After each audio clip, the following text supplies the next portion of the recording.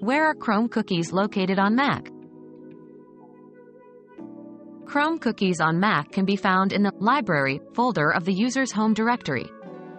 To access the folder, users can go to the Go menu in Finder and hold down the Option key to reveal the Library option. Within the Library folder, users should navigate to Application Support, greater than Google, greater than Chrome, greater than Default, and look for a file called Cookies. This file contains all the cookies stored by Chrome on the Mac.